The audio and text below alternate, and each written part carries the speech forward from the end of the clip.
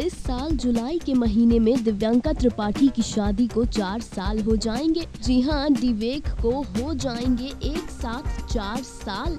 Well बता दें कि अपने एक इंटरव्यू में दिव्यांका त्रिपाठी दहिया ने बेबी प्लानिंग पर चुप्पी तोड़ी है। दिव्यांका ने कहा है कि हमारी शादी को चार साल हो जाएँगे।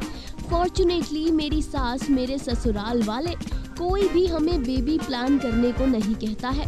इनफैक्ट मेरी सासू माँ तो कहती है कि टेक योर टाइम बच्चा एक बहुत बड़ी रिस्पॉन्सिबिलिटी है। जब तुम लोग तैयार हो, तभी इस रिस्पॉन्सिबिलिटी के लिए आगे बढ़ना। दिव्यांका त्रिपाठी ने कहा कि ना ही मेरे इन लॉज और ना ही मेरे मायके वाले मुझे बेबी के लिए कोई फोर्स नहीं करता। हाँ फैंस और मीडिया वाले ज़रूर कहते हैं, जी हाँ दिव्यांका त्रिपाठी दहिया फ़िलहाल अपनी लाइफ को करना चाहती हैं। Enjoy Divyanka Tripathi. Baby plan तभी करेंगी जब उन्हें ऐसा महसूस होगा कि अब वो इस रिस्पॉन्सिबिलिटी के लिए तैयार है।